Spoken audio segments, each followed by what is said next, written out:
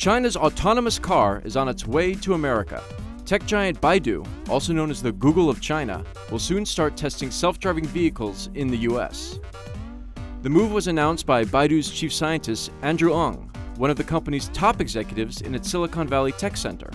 Baidu is aiming to introduce its first commercially viable model, a self driving shuttle, in China by the end of 2018.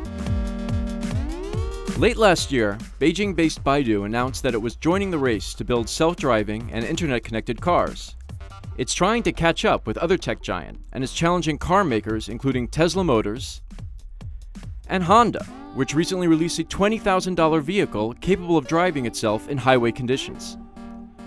Baidu is using modified BMW sedans for its tests and says it already has commitments with several Chinese automakers.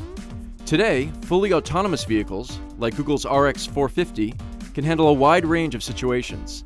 Still, some experts say they won't hit the road anytime soon. Recently, a self driving Google car hit a bus in California, reviving concerns about just how capable computers are to communicate with other drivers and humans on the road.